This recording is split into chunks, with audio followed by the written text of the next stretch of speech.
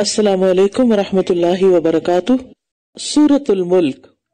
نبی صلی اللہ علیہ وسلم نے فرمایا، بے شک قرآن میں تیس آیات پر مشتمل ایک ایسی صورت ہے، جس نے ایک آدمی کے حق میں سفارش کی، حتیٰ کہ اس کو بخش دیا گیا۔ نبی صلی اللہ علیہ وسلم نے فرمایا، سورت تبارک عذاب قبر سے بچانے والی ہے۔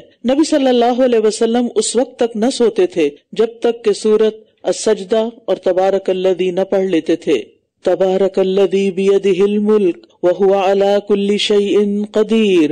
بہت بابرکت ہے وہ ذات جس کے ہاتھ میں تمام بادشاہت ہے اور وہ ہر چیز پر خوب قدرت رکھنے والا ہے۔ یعنی اللہ تعالیٰ کی ذات سب سے زیادہ مبارک ذات ہے اور بہت زیادہ بلند و بالا ذات ہے۔ اس کی خیرات اور انعامات بہت زیادہ ہیں، اس کے احسانات بہت عام ہیں۔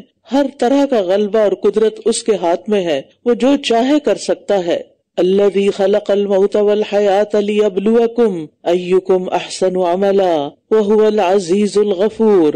وہ جس نے موت اور زندگی کو پیدا کیا، تاکہ تمہیں آزمائے کہ تم میں سے کون عمل میں زیادہ اچھا ہے، اور وہ بہت زبردست، بہت بخشنے والا ہے۔ اللہ سبحانہ تعالیٰ نے انسانوں کے جینے اور مرنے کا سلسلہ اس لیے جاری کیا تاکہ وہ انسانوں کو آزما سکے۔ انسانوں کا امتحان لے۔ کس بات کا امتحان؟ کہ ان میں سے اچھے عمل کرنے والا کون ہے۔ اللہ سبحانہ تعالیٰ نے پوری کائنات بنائی اور اس میں سے سب سے بہترین چیز جنت بنائی۔ پھر اس جنت کے لیے انسان کو پیدا کیا، لیکن اس سے پہلے اس کا امتحان لینے کے لیے یہ دنیا بنائی تاکہ یہاں دیکھا جا سکے کہ کون اس جنت میں جانے کے قابل ہے اور کون نہیں۔ اور وہاں داخلے کے لیے شرط ہے کہ انسان کے عمل اچھے ہوں، احسن عمل ہوں۔ ابن قیم کہتے ہیں، احسن عمل زیادہ خالص اور زیادہ درست ہوتا ہے یعنی جو اللہ کے لیے کیا جاتا ہے۔ یہ ایسا عمل ہوتا ہے جو اللہ کی رضا اور اس کی محبت کے موافق ہوتا ہے۔ یعنی جو وہ پسند کرتا ہے، وہ کیا جاتا ہے۔ وہ عمل احسن نہیں ہوتا جو اس سے خالی ہو، اگرچہ وہ بہت زیادہ ہی کیوں نہ ہو۔ تو اللہ سبحانہ تعالیٰ چاہتا ہے کہ اس کی عبادت ایسے عمل کے ساتھ کی جائے کہ اس سے ہمیں زیادہ سے زیادہ اس کی رضا حاصل ہو۔ چاہے وہ تھوڑا ہی کیوں نہ ہو، نہ کہ ایسا عمل جو زیادہ تو ہو مگر اللہ کو راضی نہ کرے، اس کا کچھ فائدہ بھی نہیں۔ اسی طرح آسن عمل کی ایک شرط یہ ہے کہ وہ شریعت کے مطابق ہو، سنت کے مطابق ہو۔ اگر ان دونوں شرائط میں سے کوئی ایک شرط بھی نہ ہوئی تو عمل برباد ہو جائے گا، عمل ضائع ہو جائے گا۔ اور وہ العزیز بھی ہے، الغفور بھی یعنی بے انتہا زبردست اور پوری طرح غالب ہونے کے باوجود اپنی مخلوق کے حق میں غفور الرحیم بھی ہے۔ اور دوسری طرف العزیز کا معنی یہ بھی ہے کہ وہ برے عمل کرنے والوں کو سزا دینے کی پوری قدرت بھی رکھتا ہے۔ کسی میں یہ طاقت نہیں کہ اس کی سزا سے بچ کے کہیں بھاگ جائے، مگر یہ کہ انسان واپس پلٹے اسی کی طرف اور معافی مانگ کر اس کو راضی کر لے۔ اللہ خلق سبع سماوات انتباقا۔ وہ جس نے اوپر تلے سات آسمان پیدا کیے، تم رحمان کی تخلیق میں کوئی خلل نہ دیکھو گے۔ پھر نگاہ لوٹاؤ، کیا تم کوئی شگاف دیکھتے ہو؟ تفاوت کا مطلب ہے کوئی نقص، کجی، خلل۔ یعنی آسمان بالکل سموتھ ہیں، برابر ہیں۔ ان میں کوئی عیب نہیں، کوئی خلل نہیں۔ اور پھر تم مرج البصر کرتین ينقلب الیک البصر خاسئا وهو حسیر۔ پھر بار بار نگاہ لوٹاؤ۔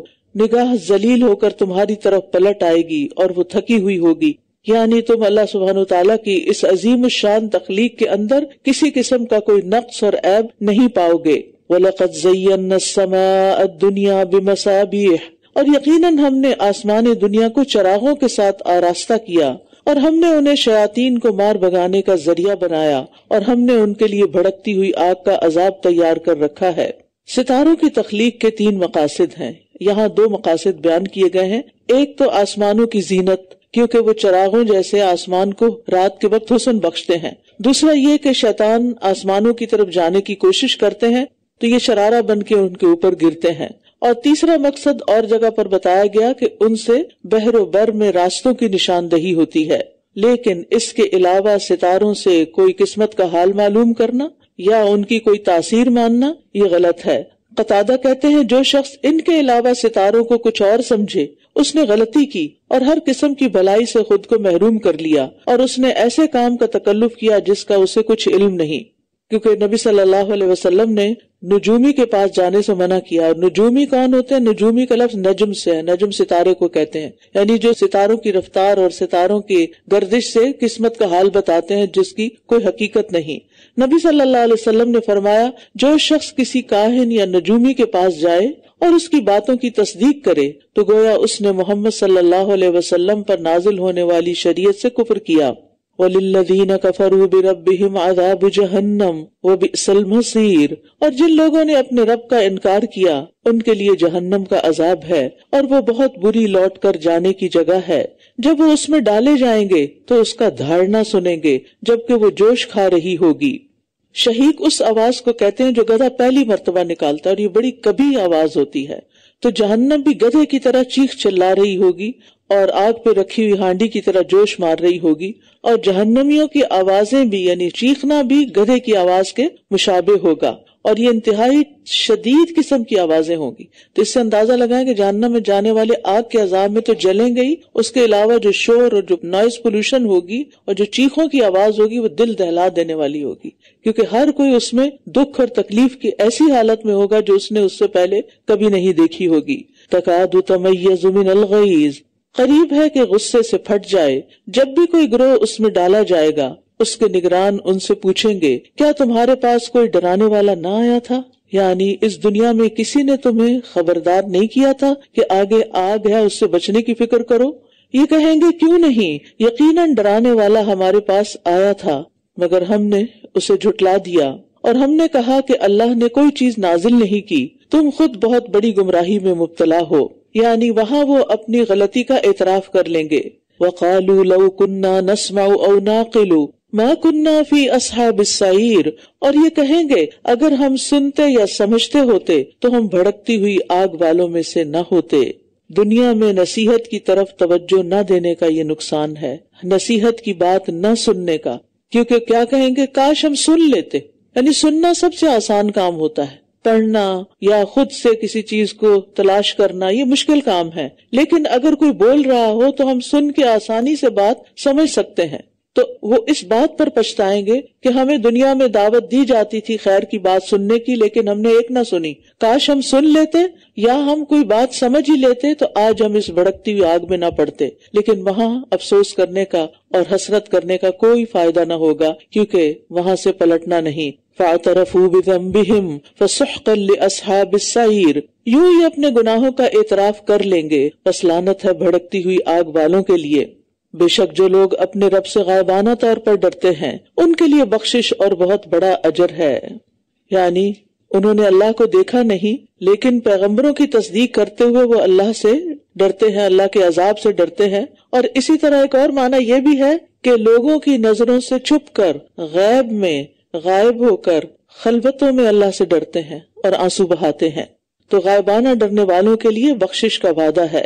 وہ اسرو قولکم ابجہرو بھی علیم بذات الصدور اور تم چپکے سے اپنی بات کرو یا بلند آواز سے، بے شک وہ تو سینوں کے بھید خوب جاننے والا ہے۔ یعنی سب کچھ اللہ کے علم میں ہے۔ جب وہ دل کی باتیں جانتا ہے تو تمہاری ظاہر میں کی ہوئی باتوں کو کیوں نہ جانے گا؟ اللہ من خلق وہ اللطیف الخبیر کیا وہ نہیں جانتا جس نے پیدا کیا؟ اور وہ بہت باریک بین، خوب باخبر ہے۔ یعنی وہ ہر چیز کے بارے میں خوب خوب خبر رکھتا ہے تو تمہارے بارے میں وہ کیسے خبر نہیں رکھتا؟ وہی ہے جس نے زمین کو تمہارے لیے متی کر دیا، تاکہ تم اس کے اطراف میں چلو اور اس کے رزق میں سے کھاؤ اور اسی کی طرف دوبارہ جی اٹھنا ہے۔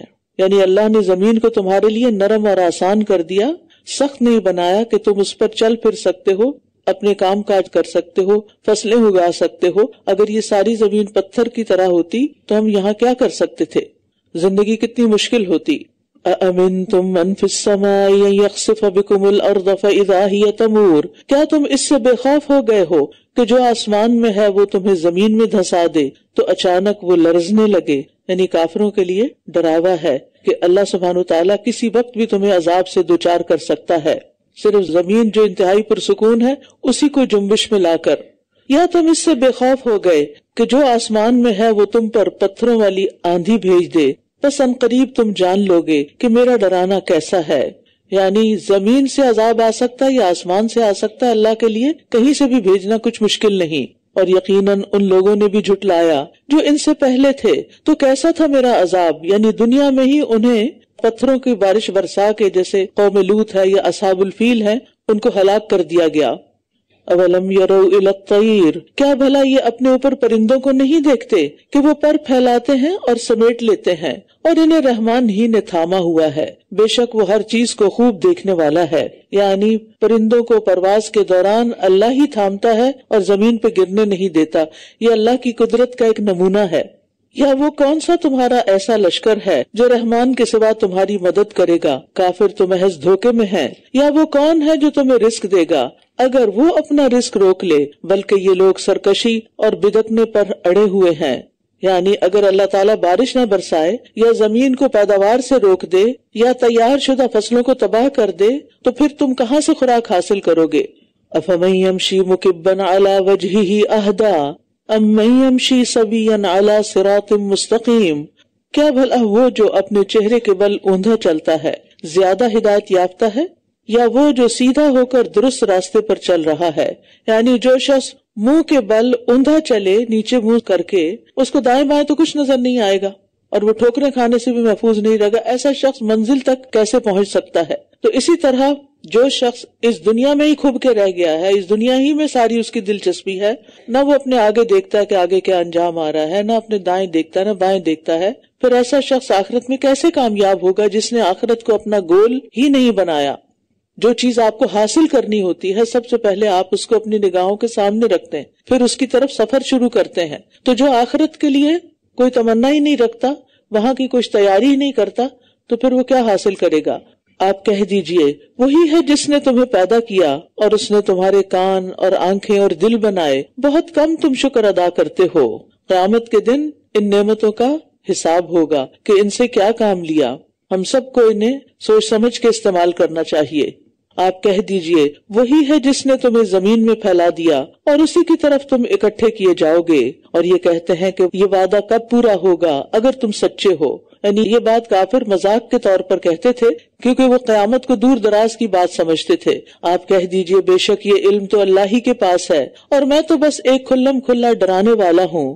پھر جب یہ اسے نزدیک دیکھ لیں گے، تو جن لوگوں نے انکار کیا، ان کے چہرے بگڑ جائیں گے۔ اور کہہ دیا جائے گا، یہ وہی ہے جس کا تم مطالبہ کیا کرتے تھے۔ یعنی قیامت کے دن دہشت کے مارے اور ذلت کے مارے ان کے چہروں پہ ہوائیاں اڑ رہی ہوں گی اور ان کے چہرے سیاہ ہوں گے۔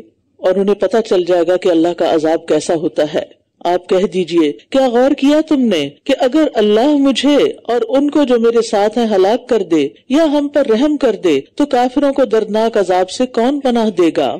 یعنی تم اس بات کی تمنا رکھتے ہو کہ ہم کہیں تمہاری نظروں سے اجل ہو جائیں، ختم ہو جائیں، ہم ختم ہو بھی جائیں، تو تمہیں کون بچائے گا؟ یعنی ہمارے دنیا میں نہ ہونے سے تم تو عذاب سے نہیں بچ سکتے۔ یا نصیحت نہ کرنے سے تمہاری چھوٹ تو نہیں ہو جائے گی۔ آپ دیکھیے کہ عام طور پر لوگوں کا حال ہی ہوتا ہے کہ جو کوئی نصیحت کرے نا ان کو یا سمجھائے، تو کیا ان کے اندر ہوتا ہے کہ یہ مجھے نظر نہ آئے؟ یعنی نصیحت کرنے والوں سے لوگ بھاگتے ہیں کہ یہ ہماری زندگی سے نکل جائیں۔ ماں باپ سے بھی بچے اسی لیے بھاگتے ہیں نا کہ یہ نہ ہمیں نظر آئے کیونکہ یہ ہمیں سمجھائیں گے۔ تو بات یہ ہے کہ سمجھانے والا اگر نہ بھی سمجھائے، تو جو مصیبت ہے یہ تکلیف ہے، وہ تو نہیں ٹل سکتی نا۔ وہ تو سامنے آئے گی۔ اپنے ہاتھوں کا کیا تو سامنے آ کر رہے گا۔ تو اس لیے خیر خواہ کو امٹ کرنے سے، اس کو اپنی زندگی سے نکالنے سے مسائل حل نہیں ہوا کرتے۔ آپ کہہ دیجیے، وہی رحمان ہے، ہم اس پر ایمان لا چکے اور اسی پر ہم نے توکل کیا۔ بس ان قریب تم جان لو گے کہ وہ کون ہے جو کھلی گمراہی میں ہے۔ آپ کہہ دیجیے، کیا غور کیا تم نے؟ اگر تمہارا پانی گہرا چلا جائے تو کون ہے جو تمہارے پاس بہتا ہوا پانی لے آئے؟ یعنی پانی خشک ہو جائے یا اتنا اندر اتر جائے زمین کے کہ وہاں سے پانی نکالنا ناممکن ہو جائے، تو پھر تمہیں پینے کے لیے، استعمال کے لیے کون پانی لا کر دے گا؟ تمہاری ساری مشینری ناکام ہو جائے گی۔ صرف ایک پانی لانے میں۔ تم پانی پر تو زندگی کی بنیاد ہے، پھر باقی چیزیں کہاں سے آئیں گی؟ یعنی اللہ سبحانہ تعالیٰ کی قدرتوں کا بیان ہے اس صورت میں۔